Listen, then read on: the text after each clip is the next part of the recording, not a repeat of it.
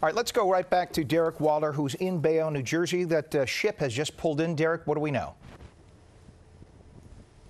Ken, uh, bear with us. I apologize, but we do have the ship that's pulling in right now. Uh, this is the Anthem of the Seas, uh, which is just docking here in Bayonne uh, from a several-day excursion in the Bahamas. And we do know that there are about a dozen Chinese nationals actually on board this uh, massive ship right now who have been quarantined with fears they may have the coronavirus. Uh, as you can see, a giant ship can hold more than 4,000 people, and again, about 12 people right now who are uh, quarantined. Officials do tell us there is no indication that anyone actually on the ship actually has coronavirus, but uh, these people apparently started showing symptoms, flu-like symptoms, and so out of an abundance of caution, uh, they separated them from the rest of the passengers on the ship and have done so for the last several days. I can tell you that there are officials from the CDC who are uh, standing by right now, uh, waiting to take these passengers away, and they're going to take them away, test them, and make sure they don't have it.